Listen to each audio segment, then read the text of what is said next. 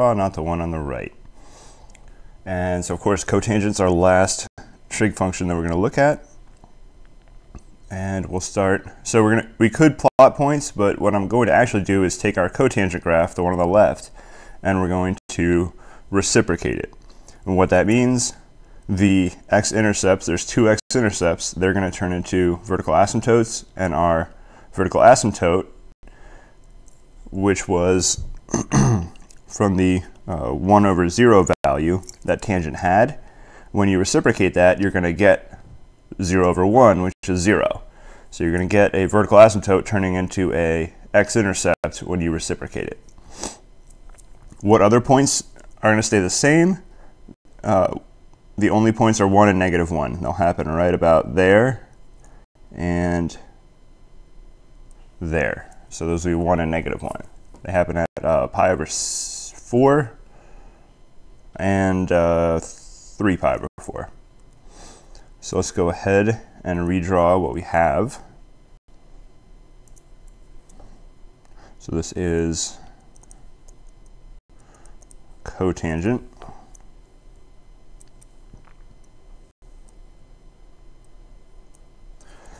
I'm going to use blue for our vertical asymptote because it's going to be on the, we had a 0 at x equals 0. That's our vertical asymptote is going to be x equals 0, so it's going to be right on top of the y-axis. So we got x equals 0 right there. And the other one is x equals pi. You're directly in between at pi over 2. So we had a pi over 2 vertical asymptote. We have a pi over 2 x-intercept. And of course the other vertical asymptote x equals pi.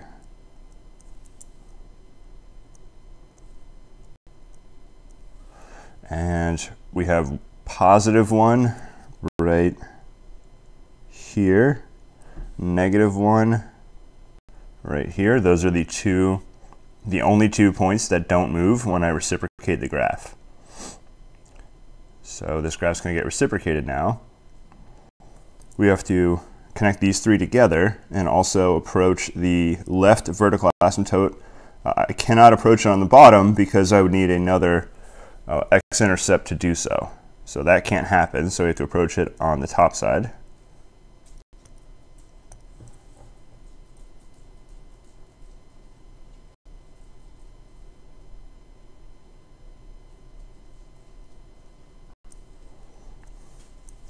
So there is one period of cotangent.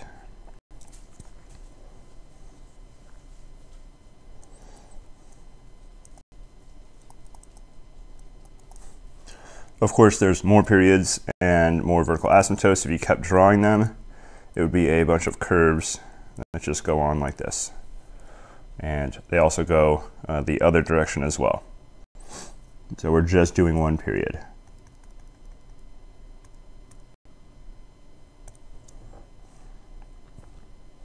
Now we'll do, uh, we'll just do one example of this, of, of a graph, and I'll put a, some shifts and, let's see, we'll do two shifts and a stretch. And we'll do the tangent graph. Well, might as well do cotangent because we just saw it right here. So this will be our example graph g of x equals 3 cotangent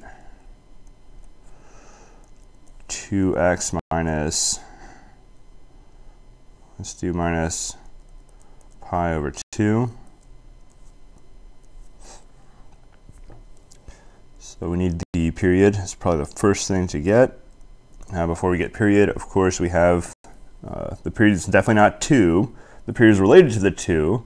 What you have to do is uh, write the it's not 2 pi over a, but now it's just pi over a because tangent and cotangent have a single pi period. So now our a is 2. So our period is pi over 2. Now the shift is not pi over 2. We have to first factor.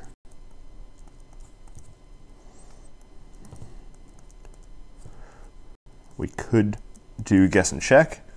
And if we guess this and check it, obviously we get negative uh, 2 pi, not pi over 2. So what I need to do is divide by 4. Now when I multiply, 2 times negative pi over 4 is negative pi over 2. So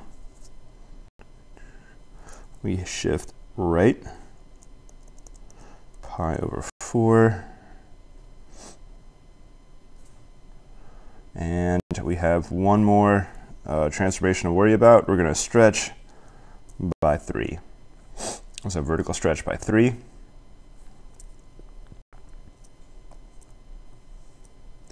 So we're going to go right pi over 4. And we have a pi over 2 period. If we measure in fourths for common denominator to make this easy for us, we're going to go 2 more pi over 4s. So there's 1 pi over 4, 2 pi over 4. Now we're not at 2 pi over 4. 1 pi over 4, 2 pi over 4. We're at 3 pi over 4. And the period begins and ends with vertical asymptotes.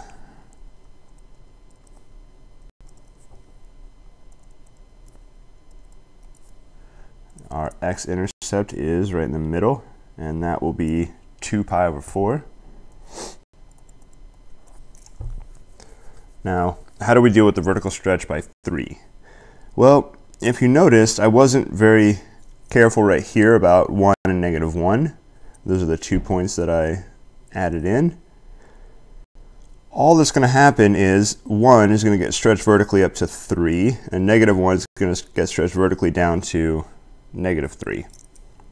So it will have the effect of uh, making this basically look taller or steeper. So we can try to be as accurate as we can here. So those are the quarter points. Uh, if I label them, this is 2 pi over 8. They would be 3 pi over 8. And some other pi over 8 is 5 pi over 8.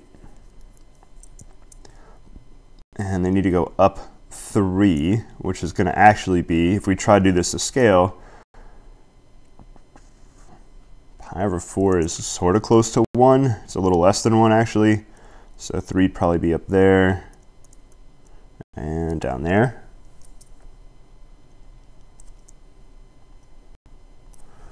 And now you can see the steepness that's going to happen here. Draw this up a little taller.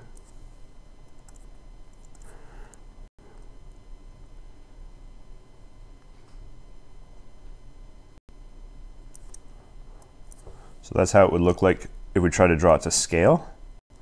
Uh, that's really ugly and it looks a lot just like a uh, line. So what I'm going to do instead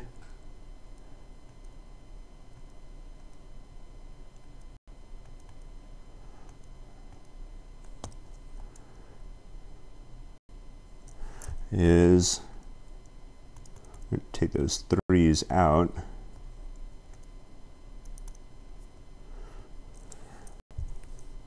Let's just draw a, definitely a thinner curve, but I like to have a little bit better of a bend to it. And now I'm just going to say 3, negative 3 like that.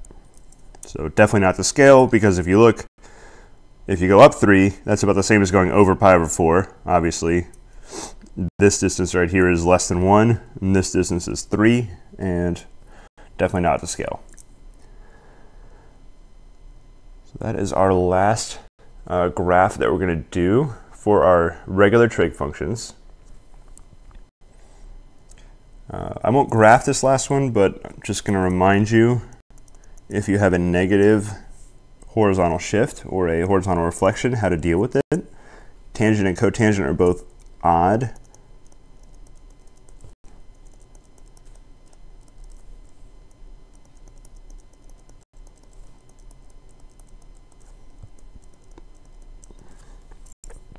So if you had a graph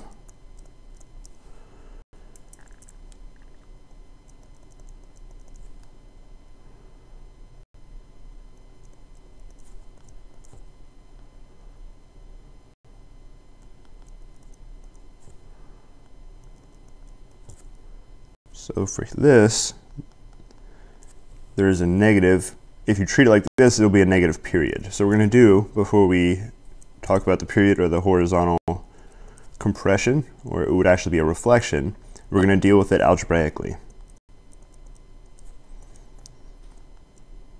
So it's negative 3x plus pi over 3.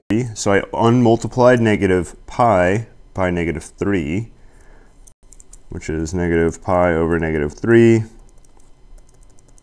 So I get regular pi over 3. That's how I get the plus pi over 3.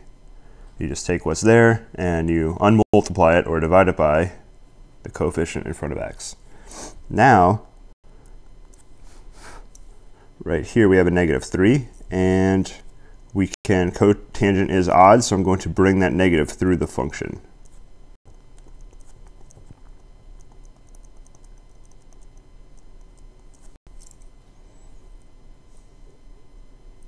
And we have period. So it'll just be a pi over 3 shift left. Also pi over 3. Oh, this will actually be interesting because our period is uh, the same as the phase shift or the horizontal shift. The negative is going to be a vertical reflection right here. Actually, let's go ahead and graph this. This will be more interesting than I planned. So we're going left pi over 3 Our period is also pi over 3. That means it fits perfectly into uh, the left edge is pi over 3 of the period, negative pi over 3, and the right is 0. We're graphing cotangent, so I get vertical asymptote at the end, and the other end, Uh, that's supposed to be at the y-axis, so I'll show that by just, oh, ooh, I could do better, 0.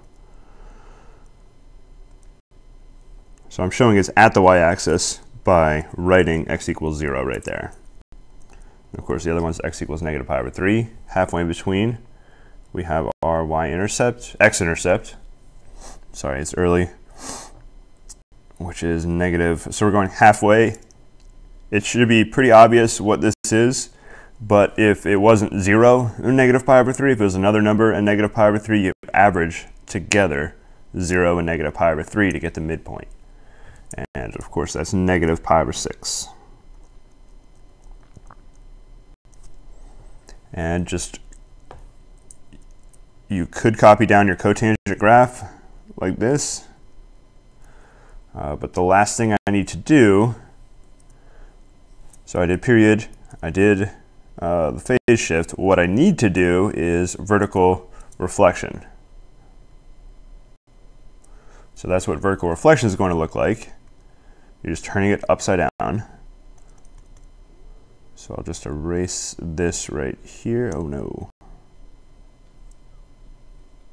I don't know what I lost. All right.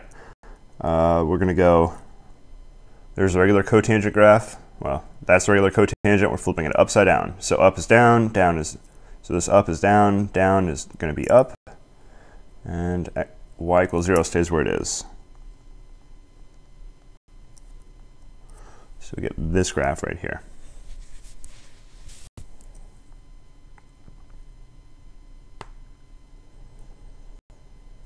So there is our cotangent graph.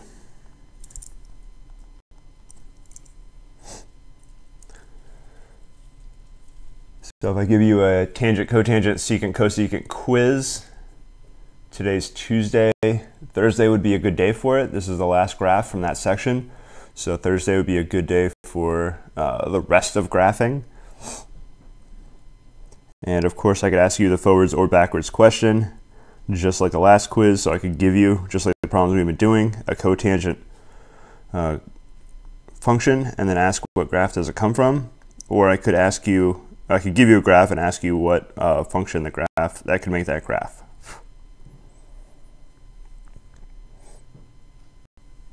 So there are some more algebraic properties that I want to look at uh, before we move on to inverses.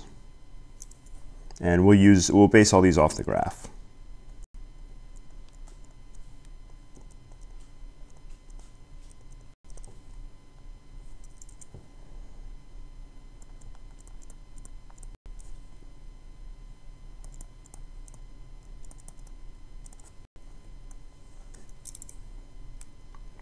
So these weren't in my notes, so I'm just going to freestyle on these, and hopefully we'll get to uh, correct conclusions. And we'll start with, we did cosine sine first, so let's start with those guys. So I'm just going to sketch out a really quick uh, cosine first. And I'm going to put sine in blue directly on top. So sine starts at 0, 0 in the middle, 0 at the end, 1 right here, negative 1 there.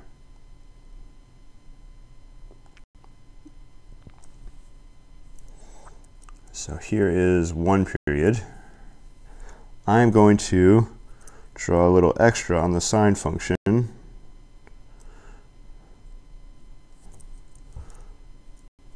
That needs to go up a little higher.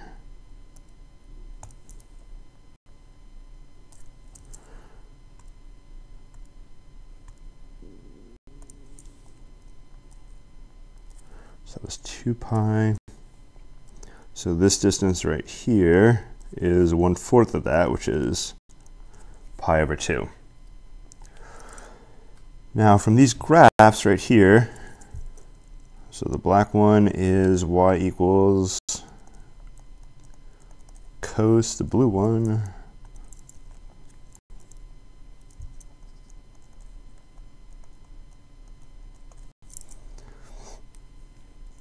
And we'll go a little bit further right there. Actually, I want to draw I do want to go a little further on the cosine graph, but I want to go a little further this way.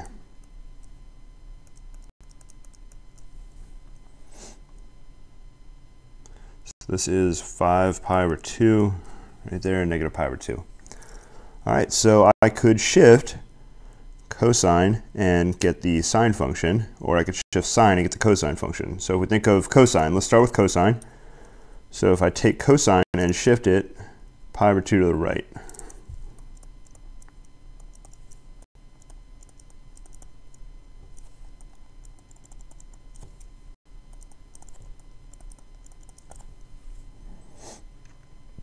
So from the graphs, that should be pretty obvious. Take the black graph, shift it right pi over 2, and it will be right on top of the blue graph.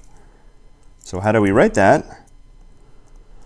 Cos x, I want to go right, is sine x. So I just rewrote that sentence in math. So there's cosine shifted right by over 2 equals sine.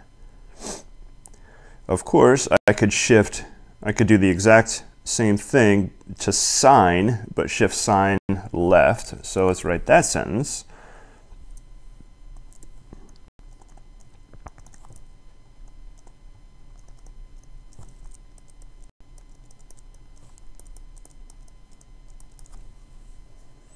So that should be pretty obvious from the graph. Shift the blue to the right, or to the left, pi over 2, and it'll be sitting right on top of the black cosine graph.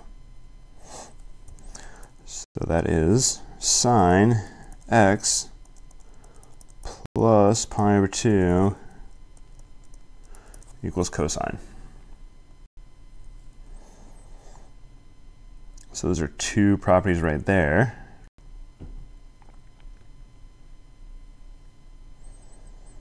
Now what I'm going to do is use the uh, fact that cosine is even. So I can write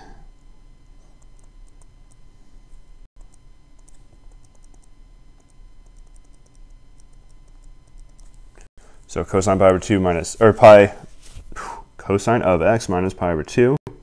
I can make the whole entire input negative, put a negative sign in front, nothing changes. And I get this cosine down here, which of course is negative x plus pi over 2.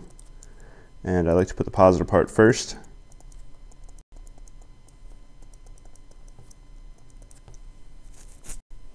And this equals sine x. So this identity is pretty useful. Might as well circle. Mm, a top identity is usually not uh, circled or put on a cheat sheet, so I'm not going to do that here. So I will put this identity I just put in a box on your cheat sheet.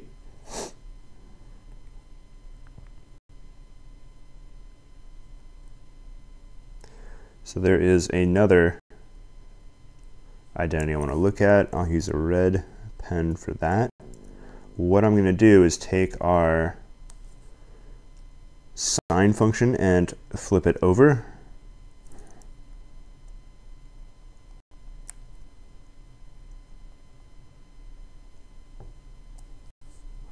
Like this.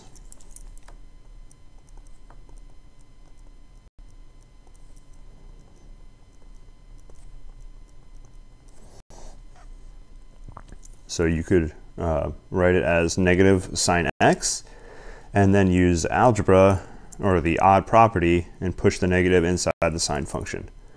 So how does a red function relate to the black function? So it looks like if I take the red function and shift it left pi over 2, I get the cosine function.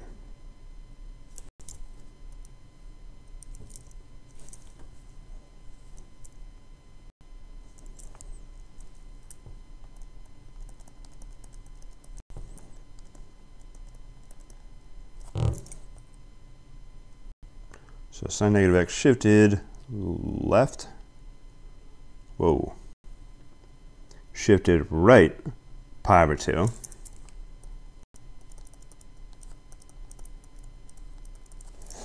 So we're taking the red function, and you can see it happen.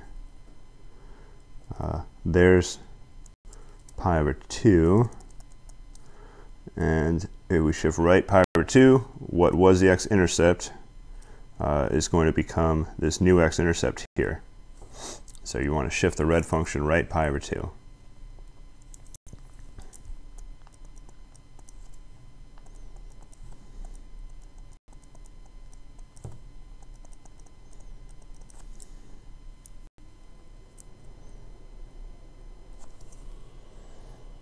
That's not exactly what I wanted because when I use the odd property, we're going to get right above there.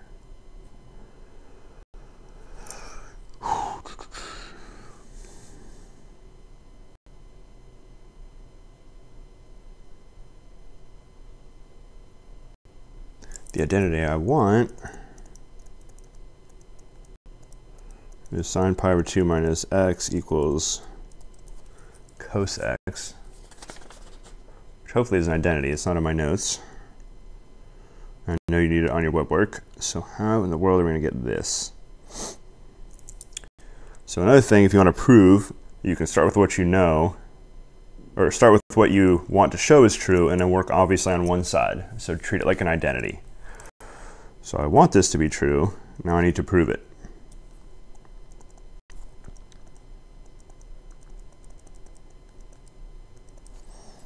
So I don't know that we have cosine yet.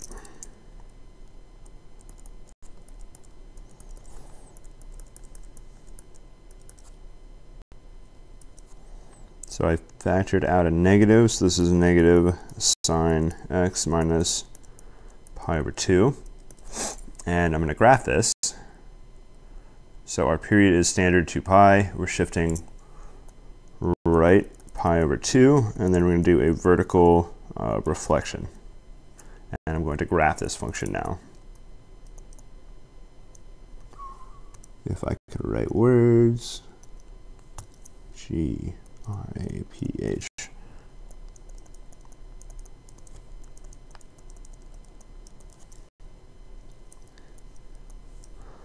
So period is 2 pi, we're starting at pi over 2, and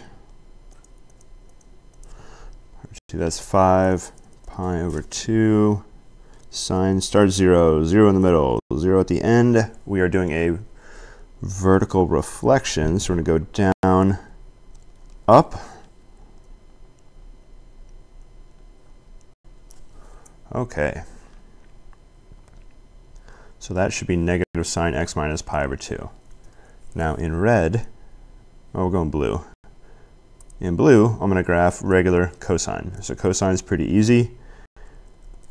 Uh, here's 2 pi. We've graphed it a lot before. Cosine starts at 1, ends at 1, negative 1 in the middle.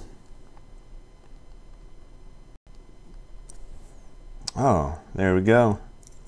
So unless I made a mistake on one of those two, they have the uh, same graph right there. So we get sine equals regular cos x.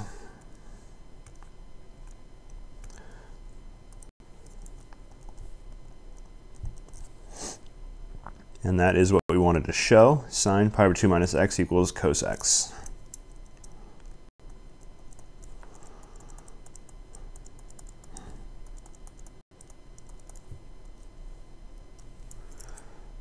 So those two, uh, you need it on your uh, WebWorks. So I will extend the date for those, and now you can officially complete them.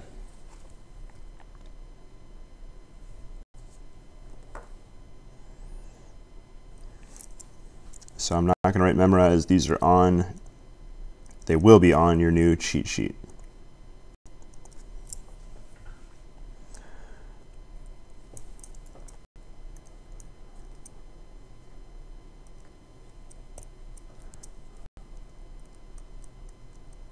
So this is 10.6 inverse functions.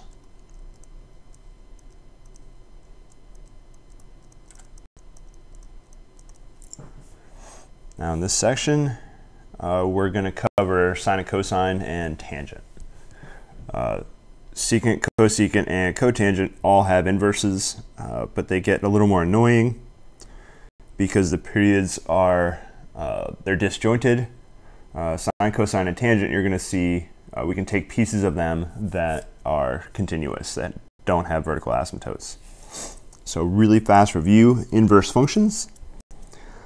So remember there is one, so before we talk about inverse functions, let's talk about functions. So there is one function rule. f of x is a function if each x in the domain of f.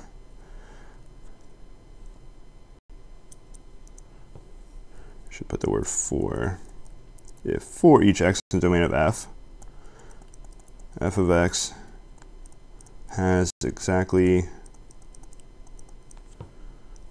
uh, let me take out the word exactly but has one value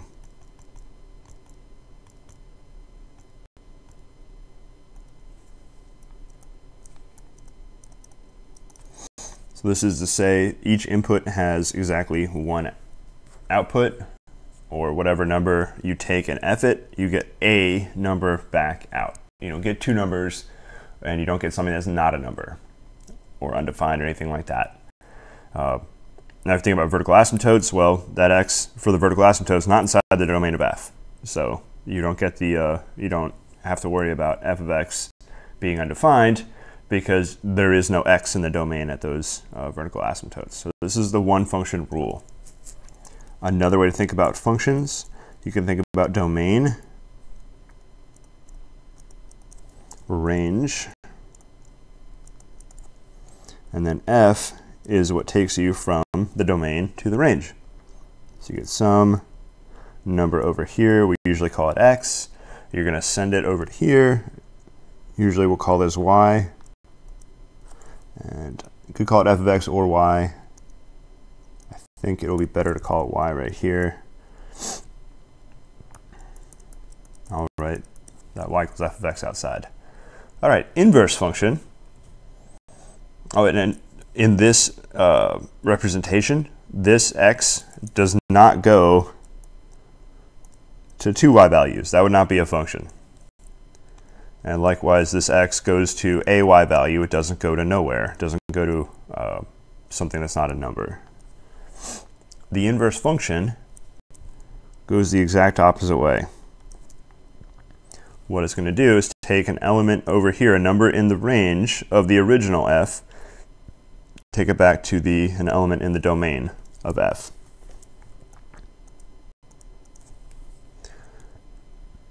so it goes the opposite direction, the inverse direction. So one way to think about it, it turns the arrow around, or it goes backwards. Now if I asked f inverse, hey, what are all these numbers over here?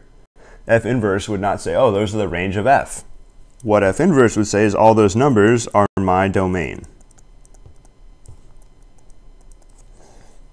So as far as f inverse is concerned, that's the domain of f inverse.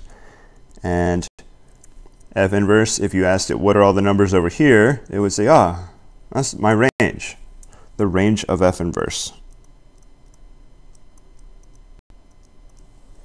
So domain of f is the range of f inverse. And the range of f is the domain of f inverse. So they swap domain and ranges. f inverse will be much happier if you call things on the right side in its domain as x's and the range as y's. Algebraically, how are f and f inverse related? So normally we have y equals f of x. So I use triple equal signs to compare equations. So if y equals f of x, and you have an inverse, you have this f inverse function, what you can do, so y normally came from the range of f. What can you do with things in the range of f? You can f inverse them. And what do you get back out? You better get the x that it came from. So this is the algebraic relationship between f and f inverse. Uh, this is from pre-calculus 1. So I'm going to put a squiggle around it. So this is recall. From pre-cal 1. That is how functions and their inverses are related. Now in order to talk about an f inverse, we need a special property of f. So let's look back at this representation. So what happens if two x values go to the same y value? So both x and x naught, when you f them, they both go to y. Now when I turn this function around, we're going to have some problems. What problem do we have? Well, you're going to f inverse is going to take y and now send it to two places right there. It has to go back to x and x naught. What that means is f inverse would not be a function because there's an element in the domain of f inverse that goes to two elements in the range of f inverse. So this is a problem. This property of having two x values going to the same y value um, is one to one. So what we need is our original function f needs to be 1 to 1.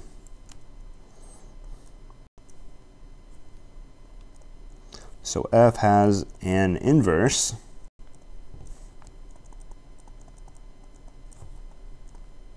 exactly when f is 1 to 1. f has an inverse exactly when f is 1 to 1. So how do you know a function is 1 to 1? There are a few ways to do it. Uh, algebraically, there's a nice way to do it. But what we're going to do is look at the uh, graph. So I'll just write down algebraically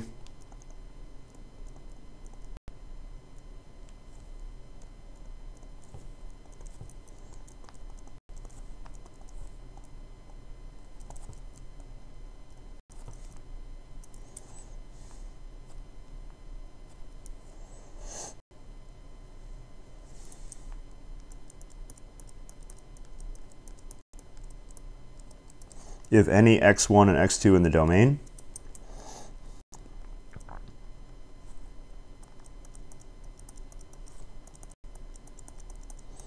Anytime f of x1 equals f of two, x2,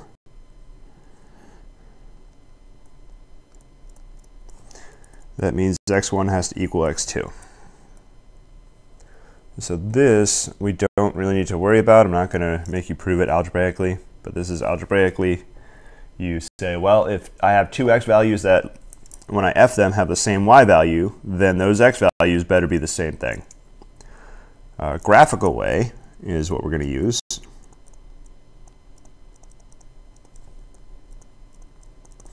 It's the horizontal line test.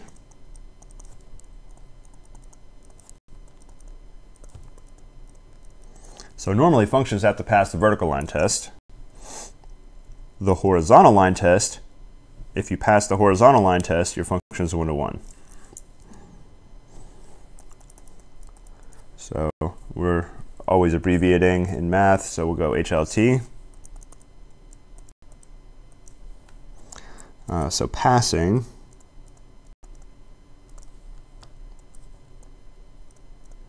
means f of x is 1 to 1. So we start with cosine first. So let's start with cosine here. All right, obviously fail. Definitely not 1 to 1. Uh, plenty of pretty much any horizontal line between 1 and negative 1 will fail. Uh, look at the x-axis right there. That's the horizontal line. It's already on the graph, so we're going to fail. The way we fix this is we're going to restrict the domain. And I'm going to graph some more of the function like that. So we're going to fail horizontal line test. So we're going to restrict restrict the domain. So we pass